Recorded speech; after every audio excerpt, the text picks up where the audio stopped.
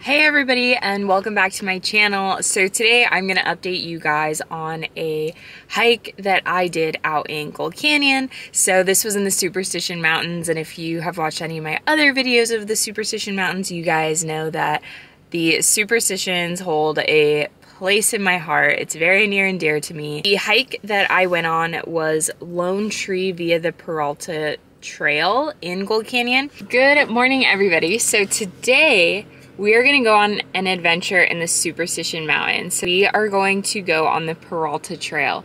So I've actually never been on the Peralta Trail and I'm so excited. When I was a kid, I grew up in Gold Canyon. I lived there until I was like 12. So I actually went to, for K through 5, Gold Canyon Elementary School.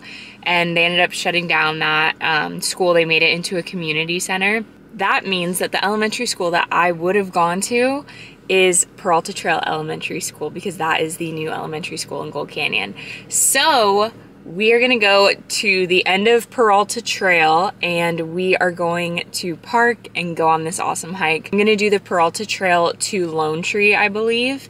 And so we're gonna get to see Lone Tree and Weaver's Needle and I'm super excited because obviously Weaver's Needle is super iconic. Wherever you hike in the superstitions you can usually spot it. I've got my coffee and I've also got some cinnamon toast. It is an hour drive. It's already 8.20. Let's start driving and get started on our Sunday adventure here.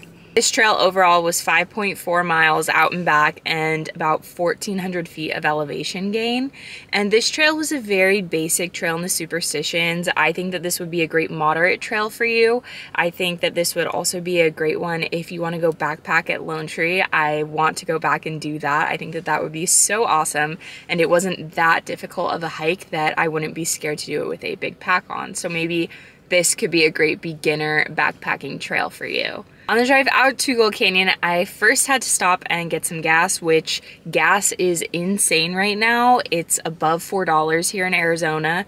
So that was not super fun. Once I finally got onto the road to get to the trailhead, it was a dirt road. So I drove on this dirt road. It wasn't anything too scary. I've been on way worse dirt roads.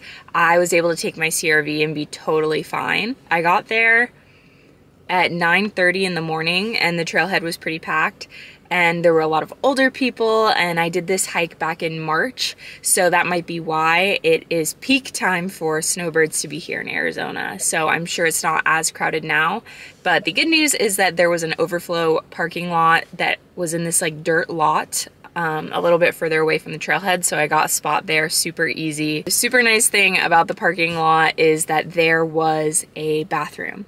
So I was able to stop, go to the bathroom, get everything situated, and continue on the trail. This trail was super beautiful. So as it started, I could see off into the distance that there was a mountain that had a yellow tint to it. It was very similar to the color of Battleship Mountain.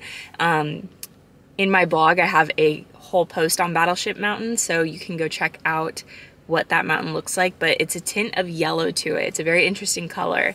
And this mountain that I saw off into the distance, it reminded me of Battleship, and I was like, oh, that's really cool.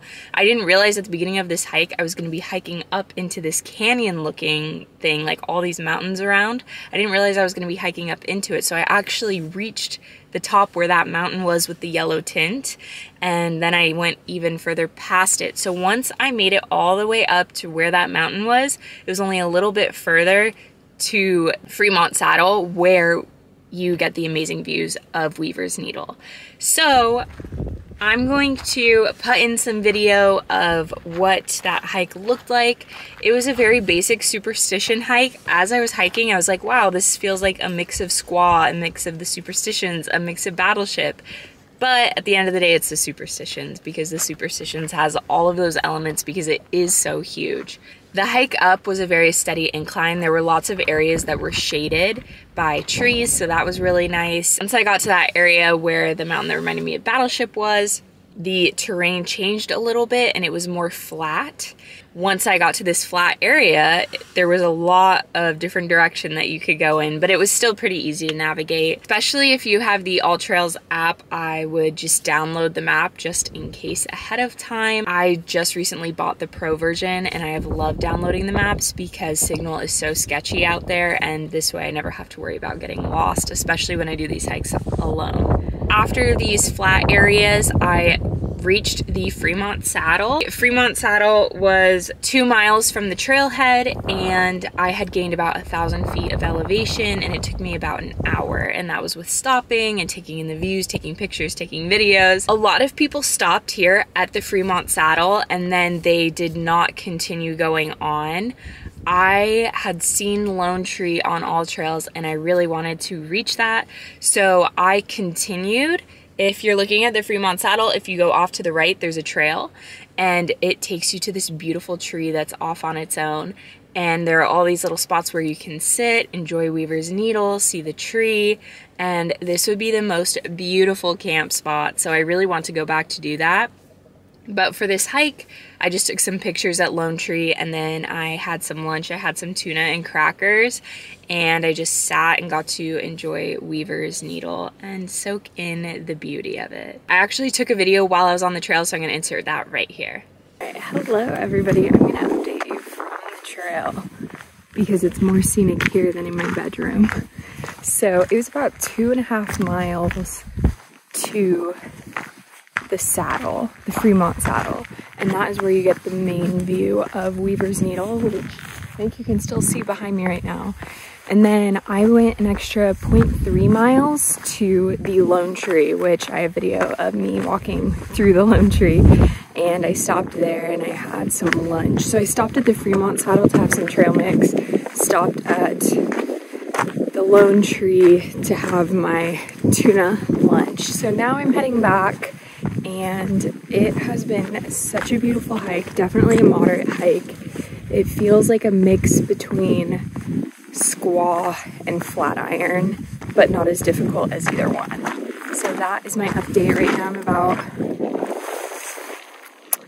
3.3 three and a quarter miles in and I'm heading back. So I will update you guys later. It was so tempted to continue on and go to the base of Weaver's Needle, but in March it is starting to warm up in Arizona. So I was afraid it was gonna get too hot and I was afraid that I would run low on water. So I didn't want to do that. So I will definitely go back to hike Weave to the base of Weaver's Needle because I think that that would be so cool. But that's gonna have to wait a while because now it is 100 degree weather in Arizona and the superstitions can be super dangerous in the summer. So I will probably get to do that in the fall. After my lunch, I decided to turn around and hike back. I didn't really see much wildlife. Um, it was a very crowded trail, so that makes sense. At the end of the hike, I noticed all of these wildflowers around me, and it was the perfect way to end the hike. So overall, my stats were that it took three hours, but that included, I think, my lunch and hanging out at Lone Tree. Ended up being about 1,500 feet of elevation gain for me and 6.27 miles. That also could have been because I parked far further from the trailhead. But overall, it was such a fun hike. And then I went home and I got to play the piano and just have a chill weekend. So this was a pretty quick hike and a quick video for me to make.